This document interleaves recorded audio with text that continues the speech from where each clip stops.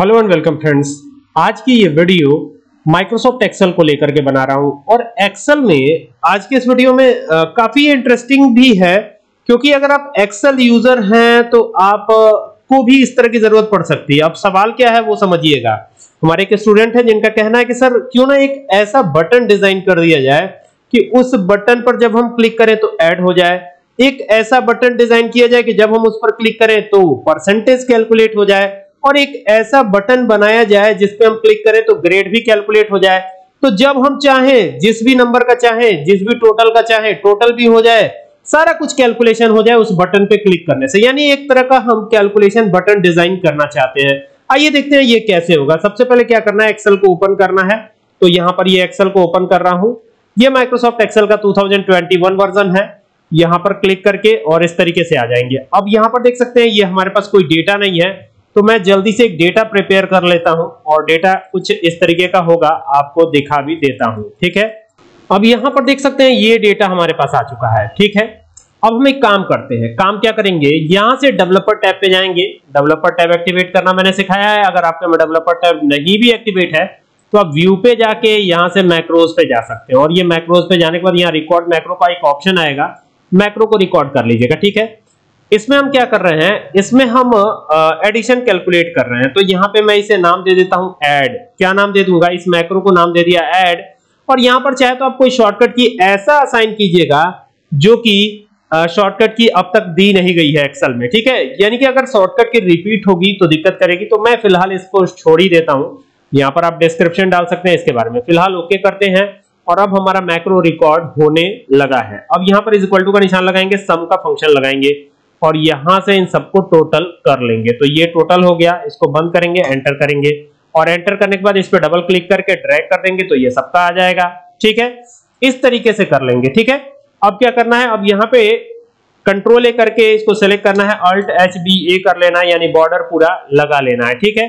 Border लगाने के बाद क्या करना है? जैसे ही बॉर्डर लगाते हैं तो बॉर्डर लगा लेने के बाद अब हमें एक काम और करना है कि यहाँ पर परसेंटेज कैलकुलेट करना है। लेकिन परसेंटेज भी कैलकुलेट करने के पहले हमें एक काम करना है। यहाँ से वापस व्यू पे जाके और यहाँ से मैक्रोज पे जाके और इसको स्टॉप रिकॉर्डिंग कर देना है। क्या करना है? स्टॉप रिकॉर्डिंग ठीक है? तो ये स्टॉप रिकॉर्डिंग कर दिया हमने। यहाँ पर हमारा टोटल हो गया है। देख सकते हैं। अब एक काम करेंगे हम। यहाँ से इंसर्ट पे जाएँगे और इंसर्ट पे जाके यहाँ पे शेप पे जाएँगे और एक अच्छा शेप लेकर के यहाँ पर इस तरीके से इसको ड्रैग करवा लेंगे। और ड्रैग करवाने के बाद इसका कलर वगैरह चाहे तो आप बदल सकते हैं और यहाँ पर इसको नाम दे देंगे एडिशन क्या नाम दे देंगे? एडिशन ठीक है? या टोटल भी नाम दे सकते हैं आप। आप यहाँ पर टोटल भी लिख सकते हैं, कोई दिक्कत नहीं है। तो यहाँ पर टोटल ही कर लेते हैं और टोटल करने के बाद क्या करना है? यहाँ पे जैसे ही टोटल करेंगे तो इसको सेलेक्ट करिएगा। इस तरीके से यहाँ से जाके इसको सेलेक्ट कर लीजिएगा और सेलेक्ट करके इसे बोल्ड कर लीजिएगा और बोल्ड करके यहाँ पर इस पर क्लिक कर दीजिएगा और यहाँ पर इसे सेंटर अलाइन कर दीजिएगा। और अलाइन करने के बाद एक बार और क्लिक करके इसे थोड़ा सा और बड़ा कर लीजिएगा। तो ये टोटल का एक बटन हमारे पास आ जाएगा, ठीक है?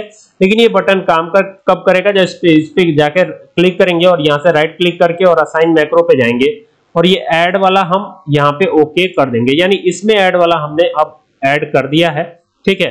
अगर मैं इसको हटा भी देता हूँ अब तो भी कोई दिक्कत नहीं, ठीक है? लेकिन फ़िलहाल इसको हम लगाते हैं, ठीक है? लगाते हैं इसको ऐसे।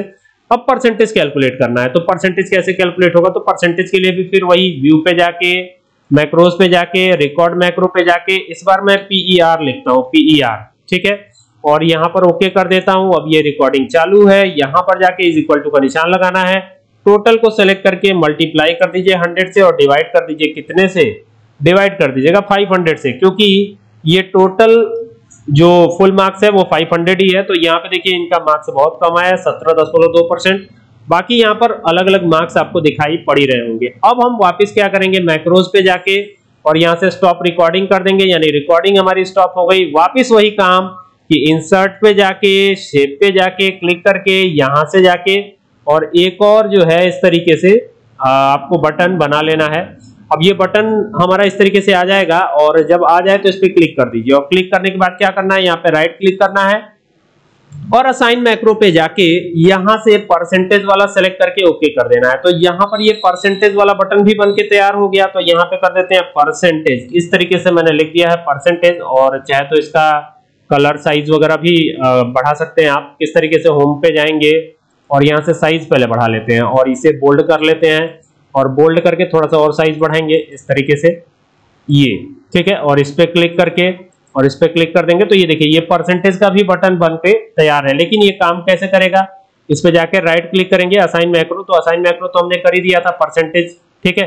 तो ये अब परसेंटेज का भी बटन बन के तैयार, ठीक है? अब हमें एवरेज करना है। तो एवरेज के लिए फिर वापस वही जाकर के इस बार डेवलपर टैब में चल के करते हैं। डेवलपर टैब में जाके रिकॉर्ड मैक्रो पे जाके और यहाँ पे ए भी ई आर कर देते हैं एवर के नाम से, और यहाँ से ओके कर देते हैं, और फिर वही कि यहाँ पे जाके, और फिर जो है क्लिक करेंगे इज़ इक्वल टू एवरेज का फ़ंक्शन लगाएँगे तो ये एवरेज यहाँ पे आ जाएगा। फ़ंक्शन लग गया एवरेज का ब्रैकेट ओपन कर लिया, यहाँ से जाके इसको सेलेक्ट करेंगे, जितना परसेंटेज आता है, उतना ही एवरेज भी आता है। बंद करके एंटर करेंगे तो एवरेज भी आपका आ जाएगा। अब हमें एवरेज के लिए भी बटन बनाना है। तो पहले तो हमें क्या करना है? मैक्रोज को स्टॉप करना है तो यहाँ से डेवलपर टैब पे जाके स्टॉप रिकॉर्डिंग कर देंगे। ये हमारी मैक्रो जो रिकॉर्ड हो रही थी, वो स्टॉप हो गई। अब हमें क्या करना है? यहाँ से इंसर्ट टैब पे जाके और शेप्स पे जाके शेप एक ले लेना है और ये शेप लेके यहाँ पर भी एक बटन बना लेना है। तो ये बटन किसका होगा? तो ये बटन जो होगा, वो होगा आपका एवरेज कैलकुलेट करने का। तो एवरेज हमें कैसे मिलेगा? क्या क्या करना पड़ेगा? तो पहले तो हम यहाँ पर इसे चेंज कर लेते हैं और चेंज करने के बाद यहाँ पे शेप आउटलाइन पे जाते हैं और आउटलाइन पे जाने के बाद इस पर क्लिक कर देते हैं और क्लिक करने के बाद यहाँ पे कर देते हैं A B E R A G E average ठीक है? और एवरेज करने के बाद यहाँ पर इसको सेलेक्ट करेंगे और सेलेक्ट करने के बाद यहाँ पर इस तरीके से इसकी साइज़ बढ़ा लेंगे और साइज़ बढ़ा लेने के लिए यहाँ पे जाके और बोल्ड कर देते हैं इसे और थोड़ा सा और साइज़ बढ़ा लेते हैं या फिर इसको छोटा करके और यहाँ से इसके सेंटर अलाइन वगैरह करके इस तरीके से लेके आ जाते हैं। अब क्या करना है, यहाँ पे राइट क्लिक करके और यहाँ से असाइन मैक्रो पे जाना है और इस बार एवरेज यहाँ पे लिख देना है, यहाँ से ओके कर देना है। तो ये हमारा काम हो जाएगा आसान।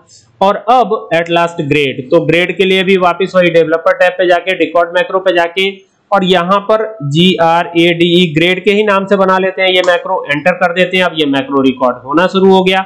इज़ इक्वल टू का निशान लगाएँगे इफ़ फ़ंक्शन लगाएँगे। आप चाहे तो स्विच का भी इस्तेमाल कर सकते हैं, ठीक है? स्विच का इस्तेमाल करेंगे तो क्या करना पड़ेगा? स्विच लिख करके और आपको ट्रू देना पड़ेगा। यहाँ पे क्या देना पड़ेगा? ट्रू से समझना है। सबसे पहले तो यहाँ लिख दीजिएगा ट्रू और कॉमा लगा दीजिएगा। अगर ट्रू है तो आगे बढ़ेंगे, ठीक है? और सबसे पहले हम यहाँ पे करते हैं 85 ठीक है? एटी फाइव का यहाँ पे क्राइटेरिया देंगे। तो सबसे पहले तो इसको सेलेक्ट करना पड़ेगा एवरेज को, ठीक है? तो एवरेज को सेलेक्ट करके is greater than equal to 85 कर देंगे। और 85 हो तो कौन सा ग्रेड आ जाए? ए ग्रेड आ जाए, ठीक है? यहाँ पे ए कैपिटल लिखेंगे, ये भी ध्यान दीजिएगा। एक क्या हम यहाँ पे कर देते हैं? ए प्लस ग्रेड ठीक है? ए प्लस कर देते हैं। तो यहाँ पे ए प्लस कर दिया है। फिर कॉमा लगाएँगे। अगर ऐसा न हो तो कौन सा ग्रेड आ जाए? यहाँ पर आ जाए ए ग्रेड ठीक है? कौन सा ग्रेड आ जाए? ए ग्रेड ठीक है? और ए ग्रेड आने के बाद फिर यहाँ पर इसी को सेलेक्ट करेंगे और फिर यहाँ पे क्या दे देंगे? यहाँ पे दे देंगे is greater than equal to. इस बार कर देते हैं 75 तो कौन सा ग्रेड आ जाए? ए ग्रेड आ जाए। फिर यहाँ पर कॉमा लगा देंगे, और फिर यहाँ पर इसी को सेलेक्ट करके is greater than equal to, इस बार क्या करेंगे? 65 ठीक है? सिक्सटी फाइव कर देंगे तो कॉमा बी ग्रेड आ जाएगा। फिर कॉमा लगा देंगे, और फिर यहाँ पर इसी को सेलेक्ट करके is greater than equal to कर देंगे।